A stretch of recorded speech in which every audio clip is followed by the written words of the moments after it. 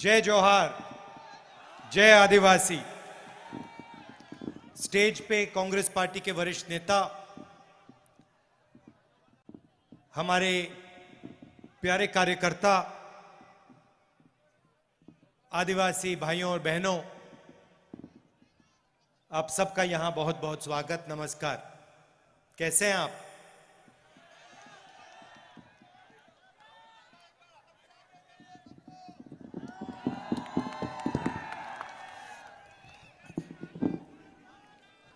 जैसे कमलनाथ जी ने कहा, मैं तांत्या मामा, हमारे मेरे लिए तांत्या मामा एक चिन्ह है।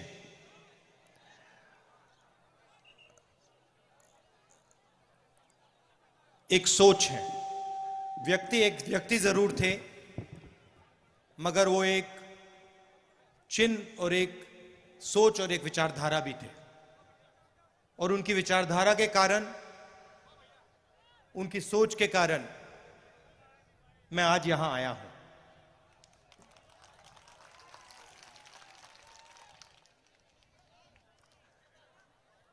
आज मैं उनके बारे में पढ़ रहा था और मैंने देखा कि वो 26 जनवरी को पैदा हुए थे। और वही दिन है जब हमारा देश पैदा हुआ। गणतंत्र दिवस का दिन तांत्या मामा का जन्मदिन था। तो इसमें भी एक मैसेज है।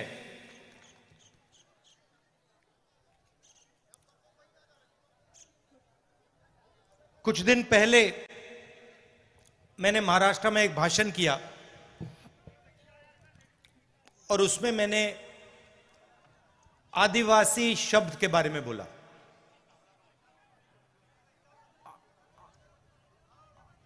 आदिवा, सही बोला? आदिवासी का मतलब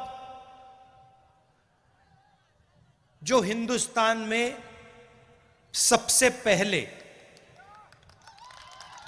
सबसे पहले रहते थे।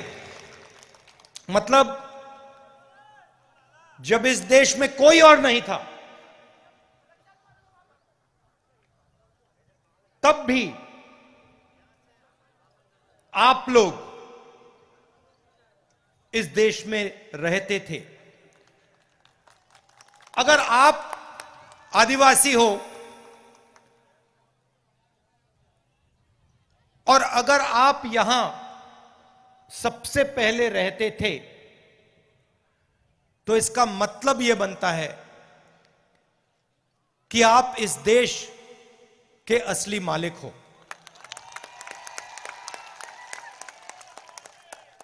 सही बात? ये ये जो शब्द होते हैं, ये बहुत चीज़ें छुपाते हैं। बहुत चीज़ें ये दिखा भी सकते हैं। जैसे आप तांत्या मामा के बारे में सोचें तो आपके दिमाग में कौन से शब्द आते हैं? बताइए, कौन सा शब्द आता है सबसे पहले जब आप तांत्या मामा के बारे में सोचते हो? आदिवासी आता है, संघर्ष आता है निडरता आता है, क्रांतिकारी आता है, ये शब्द आते हैं। और जब वो अंग्रेज़ों के सामने फांसी पे चढ़ रहे थे तो आपको क्या लगता है, उनके दिल में डर था या नहीं? सवाल नहीं उठता। उनके दिल में डर नहीं था। क्यों नहीं था? उसका कारण क्या था? उनके दिल में आम आदमी चढ़ता है फांसी के सामने खड़ा हो जाता है, डर जाता है। नहीं, मगर जो आपके तांत्या मामा थे, जब वो चढ़े फांसी पे, उनके दिल में डर क्यों नहीं था? क्योंकि उनके डर को, जो उनके दिल में आपके लिए प्यार था उसने मिटा दिया था। तो जब हम उनकी, उनके बारे में सोचते हैं, हमारे दिमाग में ये शब्द आते हैं।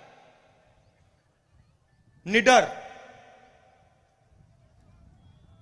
संघर्ष, मोहब्बत, ये शब्द आते हैं। कुछ दिन पहले मैंने प्रधानमंत्री का एक भाषण सुना। और उसमें उन्होंने एक नया शब्द प्रयोग किया। वनवासी। अब यह शब्द इसके पीछे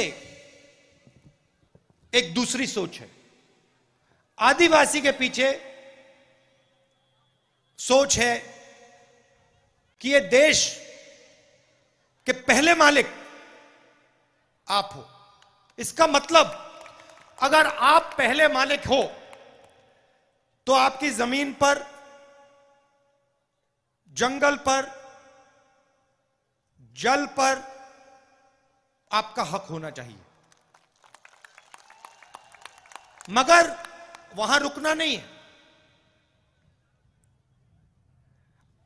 आप असली मालिक हो आपको और आपके बच्चों को अधिकार मिलने चाहिए। आपको, अगर आपका बच्चा इंजीनियर बनने का सपना देखे, सरकार को आपकी पूरी मदद करनी चाहिए। अगर आप में से कोई डॉक्टर बनना चाहे आपकी बेटी डॉक्टर बनना चाहे, उसकी पूरी मदद होनी चाहिए। क्यों? क्योंकि आप असली मालिक हो। आप पहले मालिक हो। तो सबसे पहला आपका काम होना चाहिए। मतलब जंगल तो आपका है, मगर जंगल के बाहर भी आपको अधिकार मिलना चाहिए। और जब बीजेपी की सरकारें स्कूल और कॉलेज को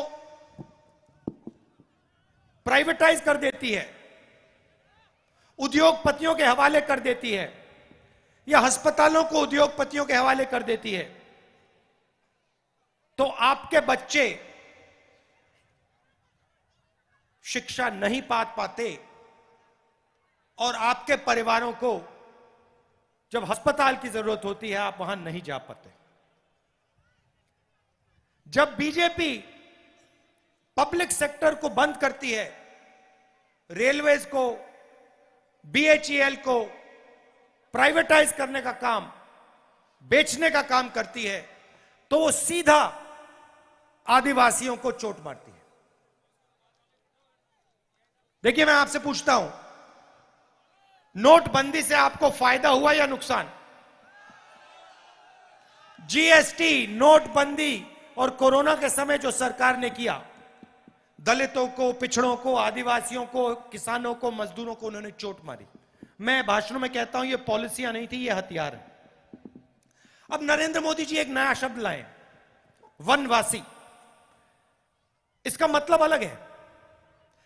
सबसे पहला इसका मतलब यह है कि आप पहले मालिक नहीं हो। आप सिर्फ़ जंगल में रहते हो। पहला मतलब ये। दूसरा मतलब कि जंगल के बाहर, आपको वन के बाहर कोई भी आपको अधिकार नहीं मिलना चाहिए।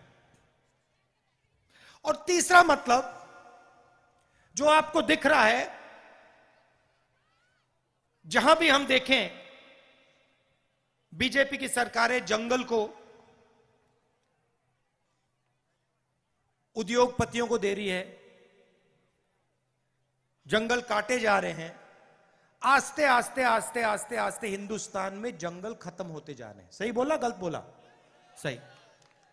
तो तीसरा मतलब यह है कि जब इस देश से जंगल खत्म हो जाएँगे तो फिर आपके लिए इस देश में कोई जगह नहीं बचेगी। यह तीसरा मतलब है।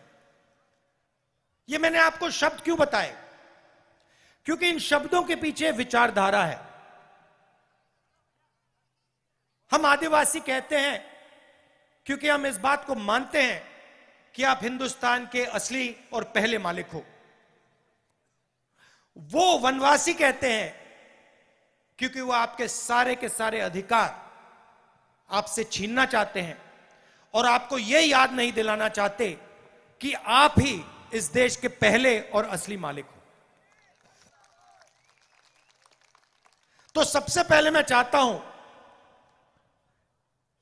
कि ये जो बीजेपी के लोगों ने आपके ऊपर अपमान किया है, ये जो शब्द इन्होंने आपके लिए प्रयोग किया है वनवासी इसके लिए ये आपसे माफ़ी मांगे। हाथ जोड़ के हिंदुस्तान के आदिवासियों से ये माफ़ी मांगे और उनसे कहें कि आप वनवासी नहीं हो, आप आदिवासी हो और आप हिंदुस्तान के पहले मालिक हो और हम आपको जो भी अधिकार चाहिए वो हम आपको देंगे।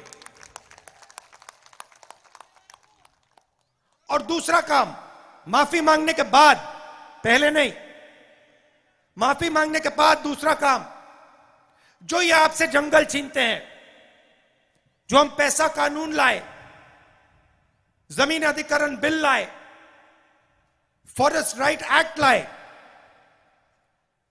इन तीन कानूनों को ये जो कमज़ोर करते हैं और आपकी जो ज़मीन है जो आपसे छीनते हैं, आपका जल है, आपका जंगल है, जो आपसे छीनते हैं, वो आपको वापस देने का काम शुरू कर दें। और अगर ये नहीं करेंगे तो जैसे ही हमारी यहाँ सरकार आएगी, हम आदिवासी शब्द प्रयोग, का प्रयोग करेंगे। और जो आपके हक हैं, एक के बाद एक एक के बाद एक आपको देना शुरू कर देंगे। और जो आपकी ज़मीन है, उसका अधिकार, जल और जंगल का अधिकार, आपको वापस देना शुरू कर देंगे। आप जानते हो कि आदिवासियों के खिलाफ सबसे ज़्यादा अत्याचार मध्य प्रदेश में होता है। पूरा मध्य प्रदेश का आदिवासी जानता है कि अगर किसी प्रदेश में आदिवासियों के खिलाफ अत्याचार होता है तो उस प्रदेश का नाम मध्य प्रदेश है। ऐसा प्रदेश हमें नहीं चाहिए। हमें आदिवासियों की, को इज़्ज़त देने वाला प्रदेश चाहिए, आदिवासियों को रक्षा करने वाला प्रदेश चाहिए। और ये जो वनवासी शब्द है इसका प्रदेश हमें नहीं चाहिए। आप सब आए, प्यार से आपने मेरी बात सुनी और आपने मेरी बात बहुत अच्छी तरह समझ ली है। मैं आपके चेहरे देख रहा हूँ, आपको बात समझ आ गई है। सब समझ गए हैं? ये जो बीजेपी की विचारधारा है, याद रखिए। अभी हम तांतिया मामा की बात कर रहे हैं। एक सेकंड भाई। तांतिया मामा की बात कर रहे हैं। तांतिया मामा को फांसी पे किसने चढ़ाया? अंग्रेज़ों ने। सही? और आरएसएस ने अंग्रेज़ों की मदद की। यह पूरा, पूरी दुनिया और हिंदुस्तान जानता है। तो याद रखिए, अंग्रेज़ों ने तांतिया मामा को फांसी पर चढ़ाया, मगर आरएसएस की विचारधारा ने उनकी मदद की। यह भी मत भूलिए वनवासी शब्द के पीछे यह भी सोच है। और यह सिर्फ़ तांत्या मामा जी के साथ नहीं किया गया। यह बिरसा मुंडा जी के साथ भी किया गया।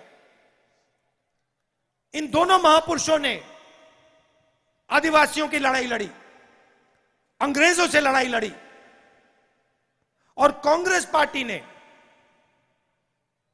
हिंदुस्तान से अंग्रेज़ों को भगाया। और जब हम अंग्रेज़ों से लड़ाई लड़ रहे थे, जिन्होंने आपके महापुरुषों को फांसी पर लटकाया, तब आरएसएस अंग्रेज़ों के साथ खड़ी थी। ये पूरी दुनिया जानती है। और ये याद रखिए, ये जो वनवासी शब्द है, ये आपको खत्म करने का शब्द है। और आदिवासी शब्द जो है यह आपको हक दिलवाने का और यह आपको हिंदुस्तान के असली मालिक बनाने का शब्द है। बहुत बहुत धन्यवाद। जय हिंद। नमस्कार।